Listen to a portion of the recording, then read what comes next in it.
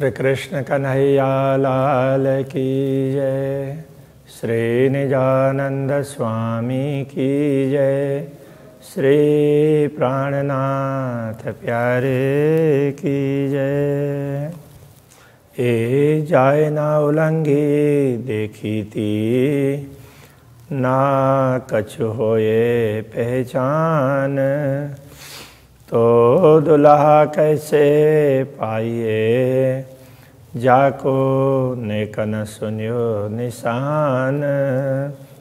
जाको नेकन सुनियो निशान।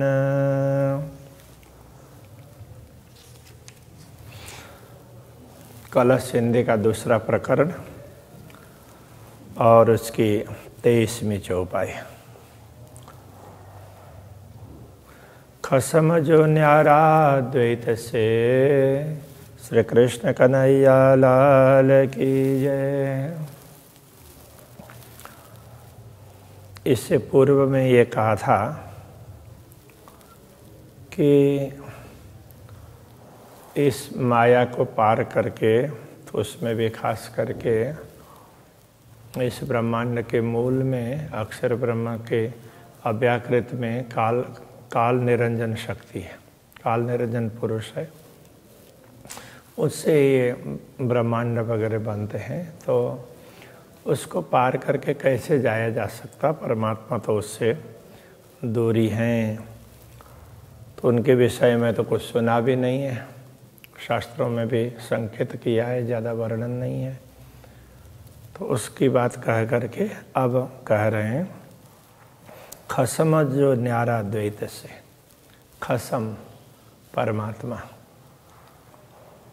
खसम का तात्पर्य स्वामी भी होता है। और दूसरा अर्थ ये भी है, ख, खम, आकाश। आकाश के समान सर्वव्याप, आकाश की भांति सर्वव्यापी हो तो उसको भी उस परमात्मा को भी खसम कह सकते हैं। तो ऐसे परमात्मा इस द्वैत जगत से दूर हैं। और ठयोर सब द्वैत है। परमात्मा को छोड़ करके, परमात्मा और उनका धाम उनको छोड़ करके, ये सारी दुनिया है वह द्वैत की है। किने न कयो ठौर नहीं चल। तो इस द्वैत जगत में रह करके, जिन लोगों ने साधनाएँ की है, ज्ञान प्राप्त किया है, उन्होंने भी द्वैत की ही बात कही है। द्वैत से परे नहीं चल निश्चल, अखंड ठोर, अखंड भूमिका, उसकी बात किसी ने नहीं कही। तो पाइए कैसी रीत ऐसी स्थिति में पूर्ण ब्रह्म परमात्मा को कैसे पाया जा सकता है, उस दुल्हा को, स्वामी को कैसे पाया जा सकता है, जो इस द्वैत जगत से भिन्न है, पर है, विशिष्ट हैं? ये मत वेद वेदांत की। वेद वेदांत में इस प्रकार के अनेक मत चलते हैं। शास्त्र सबों ए ज्ञान। बहुत से शास्त्रों में भी इस प्रकार का ज्ञान है। सो साधु लेकर दौड़ही। उन शास्त्रों के वचनों को लेकर के साधक लोग, विद्वान लोग, साधु लोग ज्ञान उपदेश देते हैं। आगे मोहन देवे जान। किंतु मोह में इतना प्रबल शक्ति है कि वह उन लोगों को उससे आगे जाने देता ही नहीं है। तो मोह अथवा अज्ञान, भ्रम, माया, अविद्या, यही उन सबकी क्षमता को शिथिल कर देती है। तो अखंड भूमिका का वर्णन नहीं कर पाते। याविद ज्ञान जो चर्च ही इस प्रकार ज्ञान की चर्चा होती है। अनेक लोग ज्ञान की बात करते हैं। वैसे तो ब्रह्म ज्ञान भी ज्ञान ही। है किंतु इसके लिए कहा गया है एक अपरा विद्या है और एक परा विद्या है। तो अपरा विद्या जिससे दुनिया का ज्ञान प्राप्त होता है। और पराविद्या वह है जिससे अविनाशी परमात्मा का ज्ञान प्राप्त होता है। तो उसमें भी पूर्ण ब्रह्म परमात्मा का स्वरूप, उनका धाम, उनकी लीला तो उसका वर्णन होता है, जहाँ होता है तो उसको ब्रह्म विद्या कहते हैं। तो शास्त्रों में अपरा ज्ञान बहुत है, पराविद्या भी है और ब्रह्म विद्या भी है। किंतु पराविद्या और ब्रह्म विद्या को पहचानने वाले लोग बहुत कम हैं। उनके प्रति रुचि रखने वाले लोग कम हैं। इसलिए शास्त्रों का अध्ययन करते हुए भी ये पराविद्या की बात वैसे रह जाती है, ऊपर ऊपर ही आगे पहुँच जाते हैं। तो फिर अपरा विद्या की बात शुरू होती है। इसलिए तो इस प्रकार ज्ञान की चर्चा दुनिया में होती है। सो मैं देखा चित लाए तो मैंने भी इस विषय में ध्यान दे करके सुना, चित्त लगा करके जानना चाहा। तब ये पता चला, ज्यो मनवा सुपने मिने बेसुद गोते खाए। जैसे मन स्वप्न में अलग अलग प्रकार से गोता लगाता रहता है और गोता खाता रहता है, खास में कहा जाए तो गोता खाता रहता है। कुछ प्राप्त नहीं कर सकता। जैसे स्वप्न देखते रहते हैं, देखते रहें, एक के बाद दूसरा, दूसरे के बाद तीसरा, किंतु कुछ मिलता नहीं है। इसी प्रकार इस जगत में अनेक ज्ञानी लोग हैं, वो भी प्रयत्न तो बहुत करते हैं, किंतु परमात्मा क्या है, उनकी पहचान नहीं होती है। इसलिए वो भी भवसागर में गोते खाते रहते हैं बेसुध होकर के, निश्चित हो, निश्चेतन होकर के। ज्ञान तो है, सब कुछ है, किंतु पहचान नहीं है। ऐसी स्थिति बहुत लोगों की है। छिन में कहे, सब ब्रह्म है। इस प्रकार के ज्ञानी अथवा स्वयं को वेदांति कहने वाले लोग कहते हैं, एक क्षण में तो एक तरफ़ तो कहेंगे, दुनिया को सारा ब्रह्म ही है, सब ब्रह्ममय ही है। तो सर्वम खलविदम ब्रह्म है सब कुछ ब्रह्म ही ब्रह्म से परिपूर्ण है। ऐसा बोल देते हैं। फिर जहाँ इसमें अटक जाते हैं, इसको सिद्ध नहीं कर पाते हैं तो फिर छेन में बंझा पूत फिर कह देंगे जैसे बाज स्त्री का पुत्र नहीं होता है, उसका कोई, वो कहने के लिए ही है, लेकिन होता नहीं है। ऐसी दुनिया भी कहने के लिए है यथार्थ में इसका कोई अस्तित्व नहीं है। ऐसा बोल करके नकार देते हैं। तो उसके लिए एक उदाहरण दिया दूसरा, मद माते मरकट जो जैसे मरकट मरकट बंदर को बोलते हैं, जैसे बंदर बड़ा चंचल होता है, किसी एक काम पर स्थिर नहीं होता है जो कुछ कर रहा होता है वही करता रहे ऐसा नहीं होता है। थोड़ी देर में एक थोड़ी देर में दूसरा।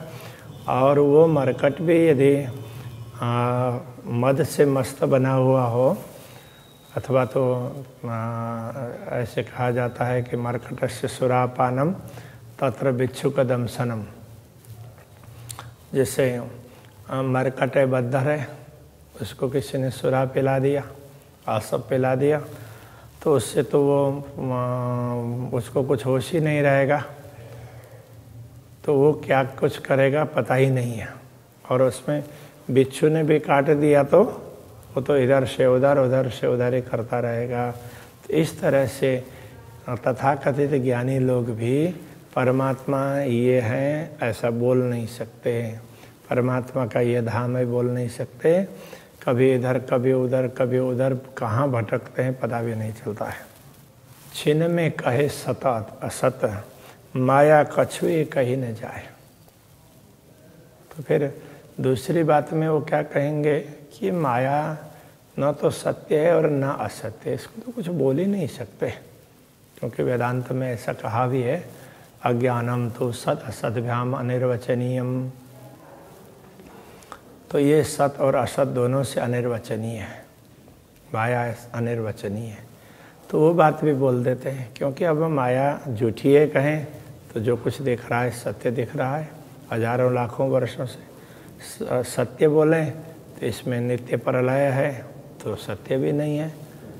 इसलिए सत असत दोनों से अनिर्वचनीय है, ऐसा बोल देते हैं।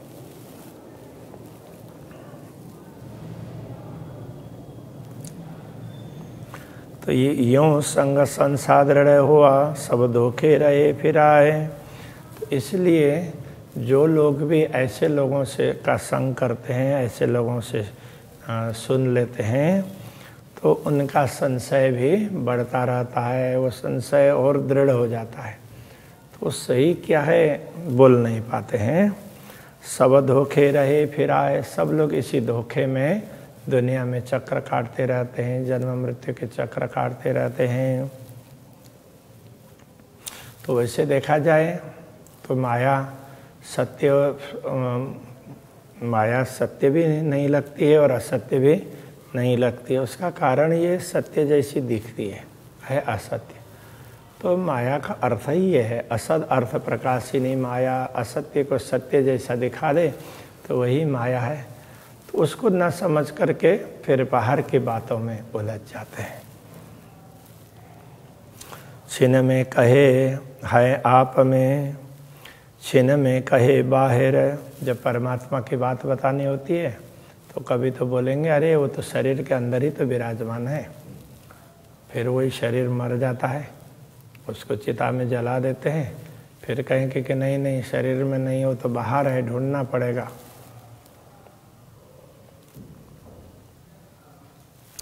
छिन में कहे, माहे न बाहर।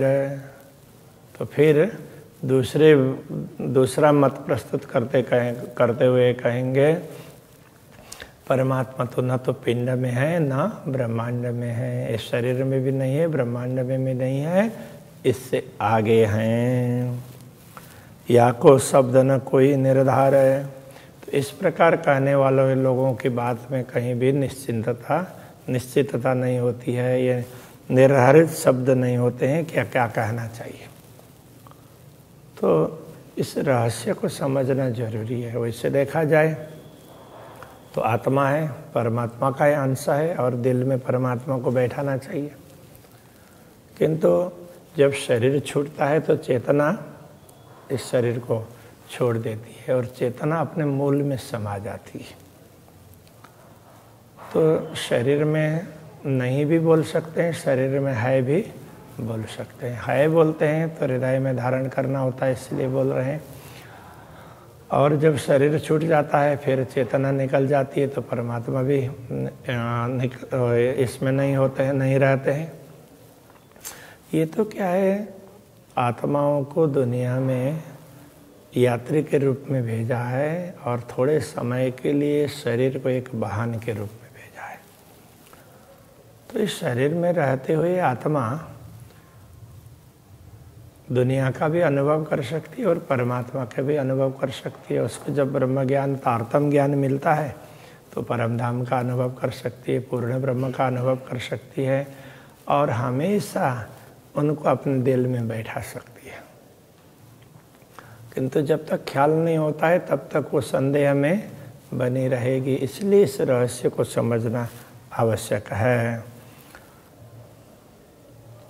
इसलिए कहते हैं कि जो लोग अनुभवी नहीं होते हैं, जिनको दिखता नहीं है तो वो फिर संदेह के घेरे में रहते हैं, संदेह में ही रहते हैं और संदेह की बातें करते हैं।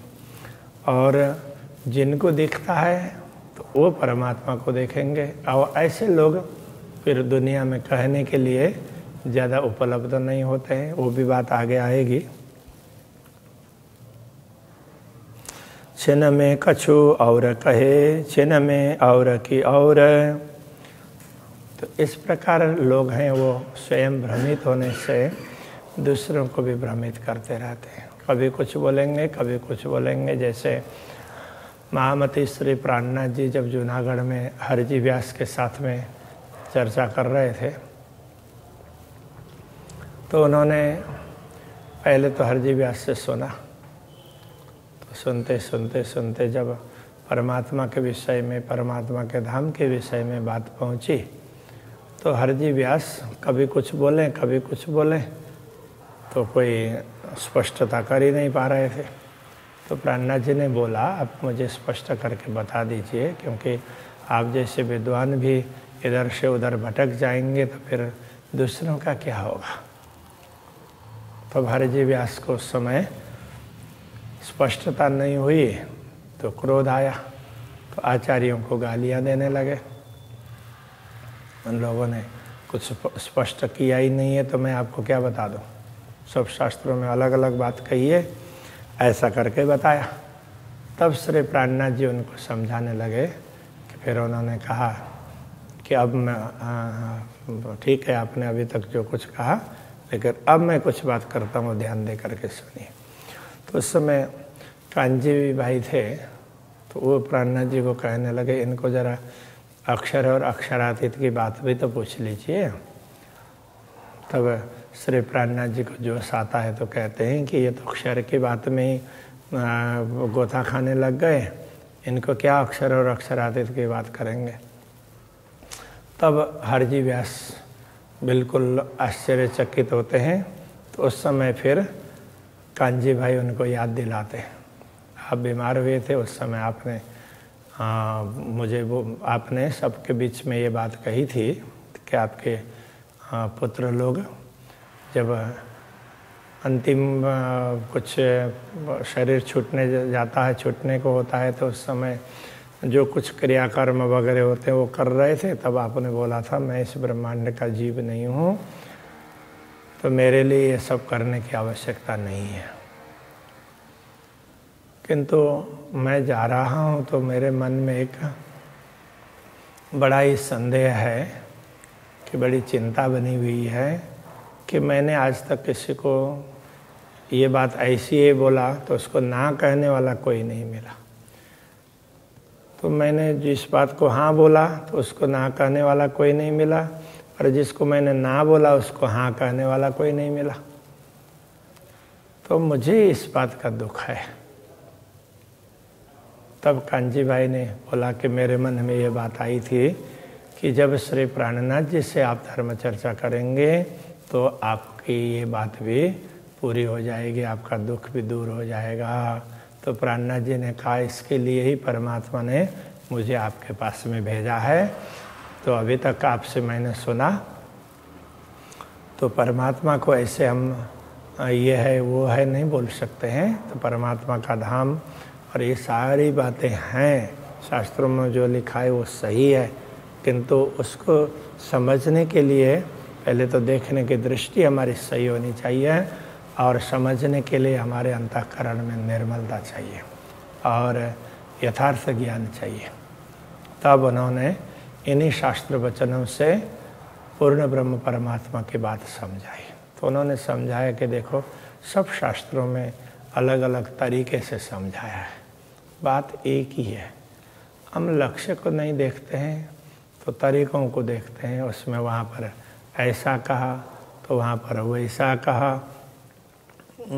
तो कोई कहने की रीत भात फ़र्क फ़र्क है तो उसको लेकर के हम लोग लड़ते झगड़ते तो भले ना अलग अलग तरीके से कहा है, लेकिन लक्ष्य तो एक ही परमात्मा का रखा ना तो उस लक्ष्य को देखना चाहिए। वो देखेंगे तो सारे तरीके समझ में आ जाएँगे। जैसे श्रीमद भगवत गीता में अक्षर अक्षर और उत्तम पुरुष की बात कही है।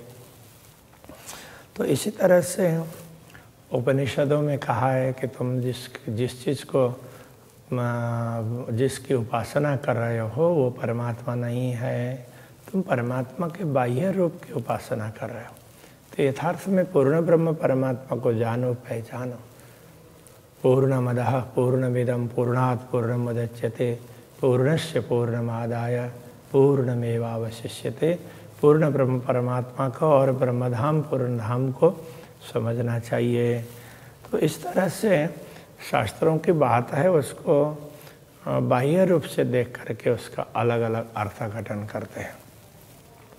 ये भूल दुनिया में बनी हुई है। इसलिए क्षण क्षण में बात बदलते रहते हैं। सो बात दृढ़ क्यों हो वही? जाको बचन न रहे बेठौर तो जिनकी बात ही कहीं किसी एक ठिकाने पर टिकती नहीं है तो वो अपने उसमें दृढ़ता में कैसे आ सकेंगे? सिद्धांत की दृढ़ता में। तो इसलिए अनुभव होना बहुत आवश्यक है। तो इन्हीं शास्त्रों के माध्यम से ज्ञान प्राप्त होगा। किंतु शास्त्रों का बाह्य ज्ञान ही देखते रहे और बाह्य रूप में ही बने रहे, बाह्य ज्ञान में ही रचे पचे रहे, उसके रहस्य तक नहीं पहुँचे तो परमात्मा का अनुभव नहीं होता है। इसलिए कई संतों ने तो शास्त्रों को शास्त्रों के इन उलझनों को भी समझाया है। वो भी बात आगे आती है। जैसे बालक बावरा खेले हस्तारो जैसे बालक अथवा बावला, पागल जैसा आदमी। तो ऐसे लोग क्या करते हैं? बालक भी कभी कभी खेलते हुए हंस भी लेता है, फिर रो भी लेता है। उससे भी ज़्यादा वो पागल होता है, वो वो कुछ भी करता है। कभी रो भी बैठता है, कभी हंस भी लेता है। तो इस तरह से ऐसे साधु शास्त्र में दृढ़ न शब्दा कोय कि जो बाह्य साधक हैं, जिन्होंने अंतर्मुख होकर के आत्म तत्व का अनुभव नहीं किया है, मात्र शास्त्र वचनों में ही ढूंढते रहे हैं तो ऐसे लोग भी दृढ़ न शब्दा कोई शास्त्रों के किसी बात पर वो दृढ़ नहीं हो सकते हैं।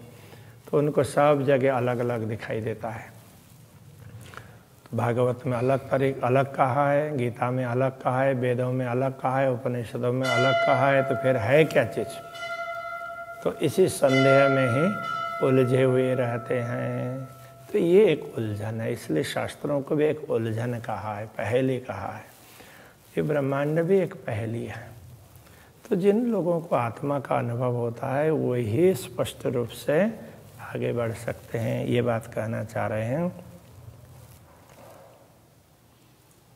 तो इस प्रकार के लोग होते हैं, ए सब सिंह सशक। तो ये लोग दुनिया को क्या बोलेंगे? ये तो शशक ससला, खरगोश। खरगोश के खरगोश के सिंह बोलेंगे। जैसे खरगोश के सिंह नहीं हो सकते, वेदांत में ऐसे अलग अलग उदाहरण भी दिए हैं, सशक श्रृंग। तो खरगोश के जैसे सिंह नहीं होते हैं तो इसी प्रकार से दुनिया का भी कोई अस्तित्व नहीं है। और बंझा पुत वैराट, ये विराट ब्रह्मांड है तो ये बंध्या के पुत्र की भांति ये नाम ही ले सकते हैं, यथार्थ में ये कुछ है ही नहीं।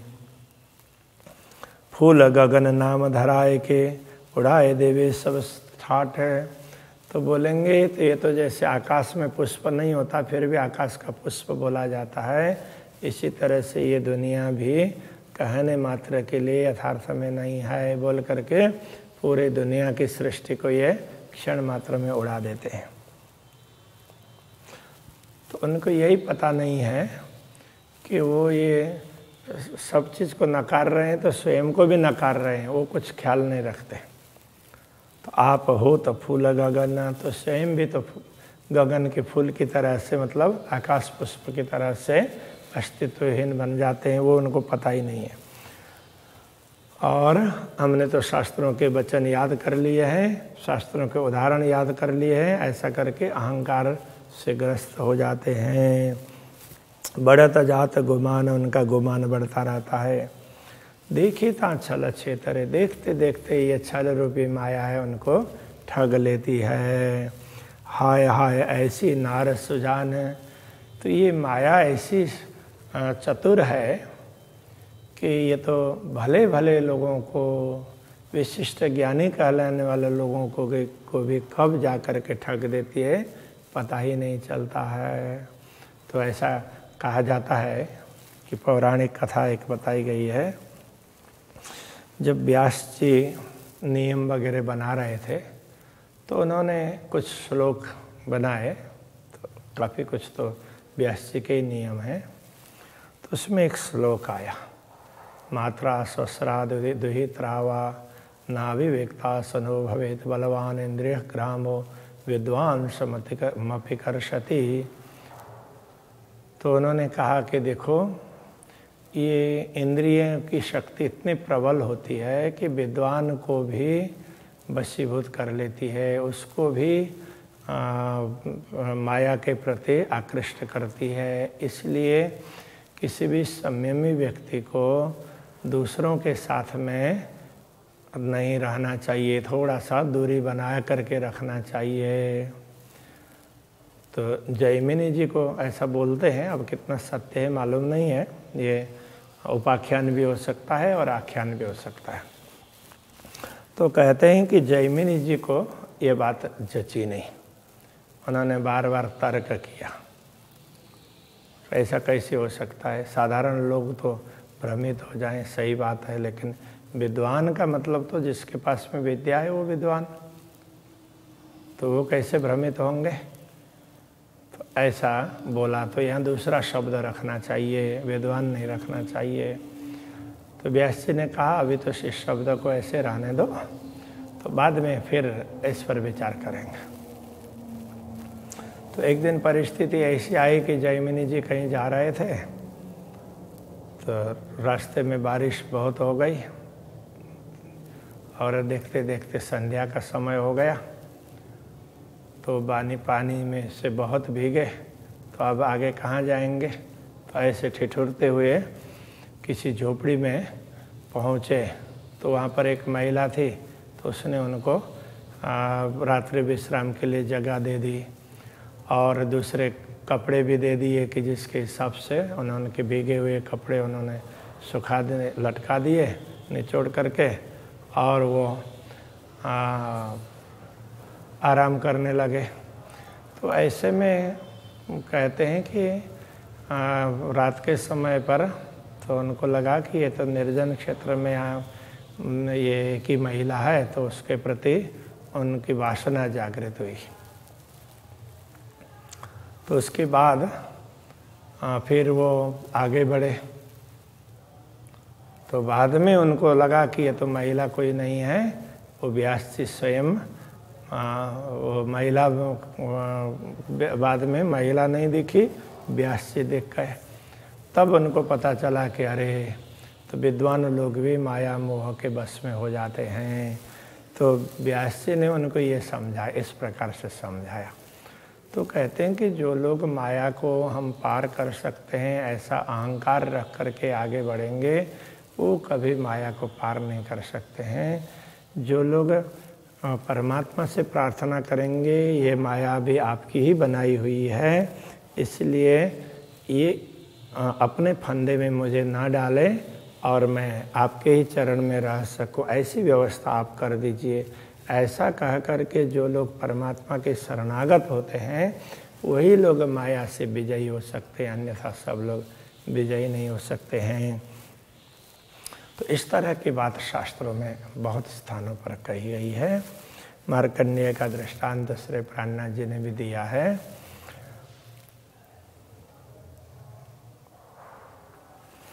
इसलिए कहते हैं कि ये माया बहुत चतुर है। कोई ना परखे छल को इस माया को कोई पूरी तरह से परख नहीं पाया, ढंग से समझ नहीं पाया। जिन छल में है, आप जिस छल के अंदर स्वयं हैं, वो छल से प्रभावित तो हैं, किंतु छल में रहते हुए छल को समझ नहीं पा रहे हैं। तो न्यारा खसम जो छल थे तो परमात्मा तो इस छलिनी छलवती माया से परे हैं दूर हैं सो क्यों पाइए साक्षात ऐसे परमात्मा को आ, कौन साक्षात्कार कर सकता है? तो जो माया के प्रभाव में रहेंगे तो परमात्मा का साक्षात्कार नहीं होगा क्योंकि वो माया के प्रभाव से मुक्त हैं। तो परमात्मा की शरण में जाते हैं तो ही माया के प्रभाव से मुक्त होंगे। इसलिए जाने अनजाने में भी परमात्मा के प्रति समर्पण होना आवश्यक है। अटक रहे सब इत ही ज़्यादातर लोग इसी माया में अटके हुए हैं। आगे शब्द न पावे शेर तो उनके वचन हैं। वो भले वो शास्त्रों के वचनों की दुहाई देते हों, किंतु उनके वचन हैं किसी स्पष्ट मार्ग को बता नहीं सकते। ए इंड गोलक बीच में, या के वो तत्व चौफेर ये पूरा ब्रह्मांड है इसका गोलक तो पूरा ये इसका बरतूल इसमें चारों तरफ़ माया ही छाई हुई है, चारों तरफ़ मोह तत्व है। तो इस मोह तत्व के अंदर ही ये ब्रह्मांड है, ऐसे अनंत ब्रह्मांड इस मोह जल में तैर रहे हैं। कोटि सो हंडराशय करोड़ों ब्रह्मांड। तो ब्रह्मांड के अंदर भी माया का असर है, ब्रह्मांड के चारों ओर से भी माया ने घेर रखा है। तो ऐसे में जो लोग परमात्मा की शरण में नहीं होते हैं, वो भले शास्त्रों के वचन की दुहाई देते हों, किंतु उनको भी पार का रास्ता नहीं दिखाई देता है। शब्द जो सारे मोहल हों, सबके वचन है तो मोह तक की बात ही कह रहे हैं। एक लवा न निकस्या पार क्योंकि ये शब्द मोह से ही प्रकट हुए हैं और उनका एक लव एक मात्रा भी निक, न निकस्या पार मोह से पर अखंड धाम की बात करने में सक्षम नहीं हो पाई है। खोज खोजता ही शब्द को फेर फेर पड़े अंधारा उन्हीं शब्दों को उथल पुथल करते हुए इधर से उधर खींचेंगे, उधर से उधर खींचेंगे, काना मात्रा खींचेंगे। तो शब्द का, एक शब्द के कई अर्थ ढूंढेंगे, किंतु इस अंधेरे से, अज्ञान से पार नहीं हो सकते। बार बार इसी में गोते खाते रहते हैं। जैसे अंधे नहीं माना यथांधा अंधे लोगों से मार्गदर्शन किए हुए अंधों की भांति। तो कुछ चर्म चक्षुओं को दूसरा चर्म चक्षु ही रास्ता दिखाने के लिए आगे बढ़ रहा है। तो क्या रास्ता दिखाएगा बेचारा? उसको खुद को ही नहीं दिखाई देता है। तो इस तरह से दुनिया में सब लोग अंधेरे में पड़े हुए हैं। एक ख्वाबी दम सब नीदलों ये दम निदय के आधार। तो इनको ऐसी आत्माओं को ख्वाबी दम भी कहा है। तो ख्वाबी दम वैसे फारसी का शब्द है। तो कति परंपरा में ऐसे लोगों को जो माया में भ्रमित रहते हैं, उनको ख्वाबी दम कहते हैं।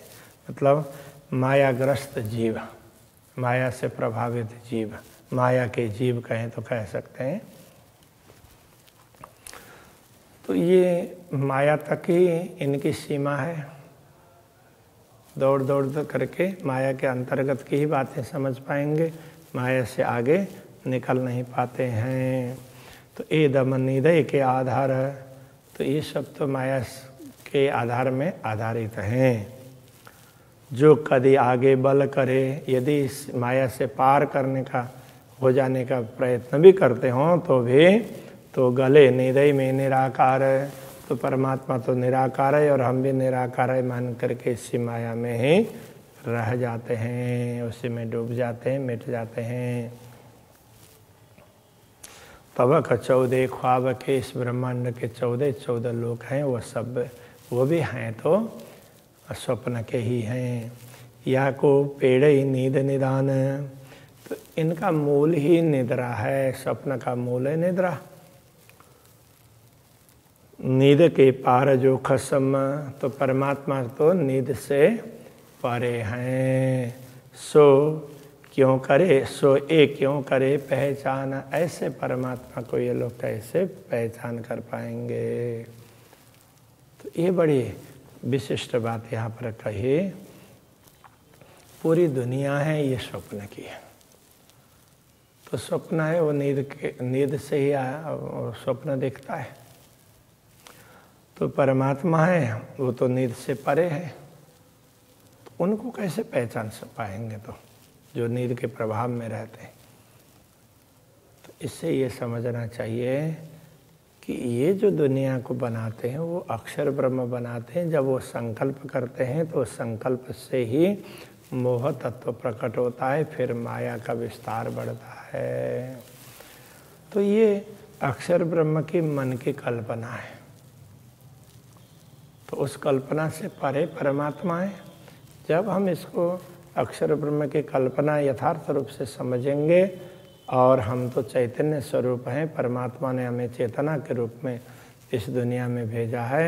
ये सोच कर के हम अपने मूल को याद करने लग जाएँगे तो आ, इस उसमें स्वप्न से परे परमात्मा को जान पाएँगे। किंतु लोग इस इसके लिए प्रयत्न नहीं करते हैं तो कैसे परमात्मा को पाएँगे? बड़ी बुद्ध वाले जो कहा भाई सो शीतल भय इन भात। जो बड़ी बुद्धि कहलाने वाले लोग हैं, वो भी इस बात ठंडे हो गए हैं। उन्होंने भी परम तत्व की बात थोड़ी सी कही, किंतु स्पष्टता किए बिना रह गए। ना पहचान छल वतन की, न तो उनको माया की पूरी पहचान हुई और न ही वतन की पहचान हुई परम धाम की पहचान हुई। सो सुन्न गले ले स्वात तो वो लोग तो शून्य में ही समा गए। तो उन्होंने परमात्मा को भी निराकार कह दिया। निराकार शून्य है ऐसा मान दिया। तो यथार्थ में देखा जाए तो परमात्मा इन सबसे भिन्न है। तो जिसको हम निराकार कहते हैं, वो कोई शून्य नहीं है। तो निराकार शून्य भी है और परमात्मा के लिए जहाँ शास्त्रों में निराकार शब्द का प्रयोग हुआ है, वो किसी शून्य के लिए अस्तित्व विहीन स्थिति के लिए नहीं है। तो वहाँ कहने का तात्पर्य ये है कि परमात्मा का आकार ऐसा ही है। हम शब्दों के द्वारा निश्चित नहीं कर सकते हैं। उनका हर आकार तो चैतन्य स्वरूप है, बस उसको हमें स्वीकार करना चाहिए। तो हम उनको फिक्स नहीं बता सकते। तो इसलिए परमात्मा को कई स्थानों पर निराकार कहा। किंतु लोगों ने निराकार को शून्य समझ लिया, निराकार का अर्थ शून्य भी होता है, जहाँ कुछ है ही नहीं तो वो शून्य मंडल वो निराकार।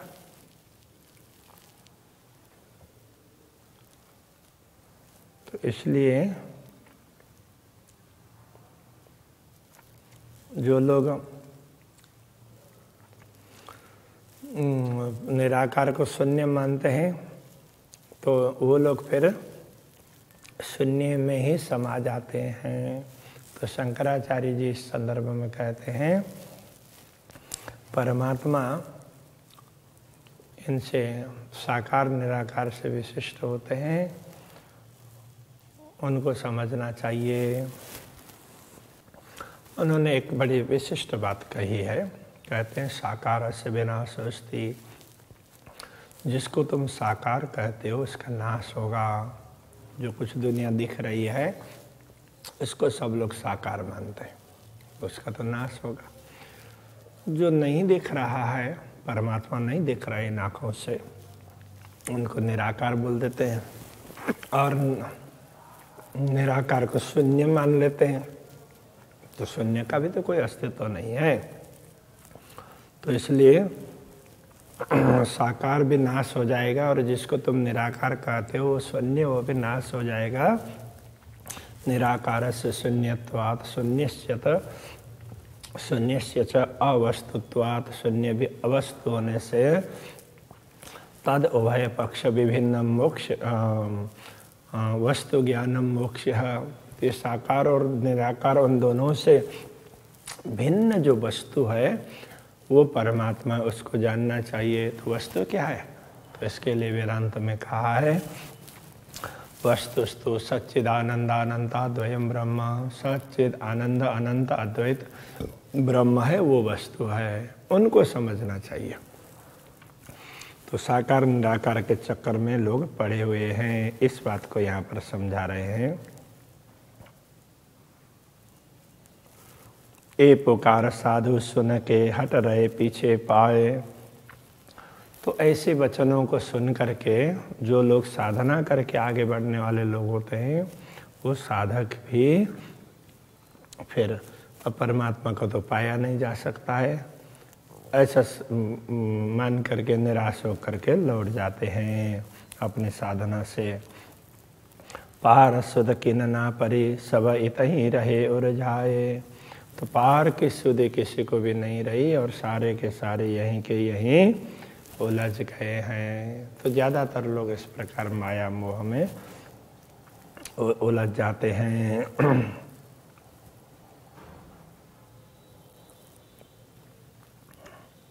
तो कहते हैं, जिन्हों जैसा खोजिया जिन्होंने जैसी खोज की है, सो बोले, बुद्ध माफक, जैसा अनुभव किया अपने बुद्धि के अनुसार वो लोग बात करेंगे। मैं देखे शब्द सवन के जो गए ज़ाहिर मुखबक। ऐसे अनेक लोगों के उपदेशों को, उन वचनों को हमने भी सुना। तो उन्होंने ये बात ढोल पिटा पिटा करके बताया कि परमात्मा निराकार है, शून्य है। इस तरह से बोला, वो बात हमने बहुत सुनी है। किंतु परमात्मा तो शून्य निराकार से पर हैं, जिन्होंने अनुभव किया है, उन्होंने ये बात स्पष्ट रूप से कही है। ये बात यहाँ पर समझा रहे तो अभी के प्रसंग को यहीं पर रखते हैं। अब आगे इसी बात को बढ़ाते हुए इस खोज के प्रसंग को और आगे बढ़ा रहे हैं। उसको फिर अपने दूसरे दिन इस, ये चर्चा करेंगे। श्री कृष्ण कन्हैया लाल की जय। जो गए ज़ाहिर मुखबक जिन्हों जैसा खोजिया, सो बोले बुध माफक। मैं देखे शब्द सबन के जो गए ज़ाहिर मुखबक जो गए ज़ाहिर मुखबक श्री कृष्ण कन्हैया लाल की जय।